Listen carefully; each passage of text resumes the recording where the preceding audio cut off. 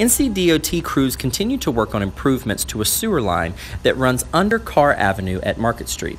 The project will close the north and south sections of Kerr at Market heading into next week. Drivers should use detours on a new road that connects Market and Wilmington Avenue to Kerr and Cinema Drive. Next weekend, Market Street could be scaled down to one lane in each direction to accommodate continued work.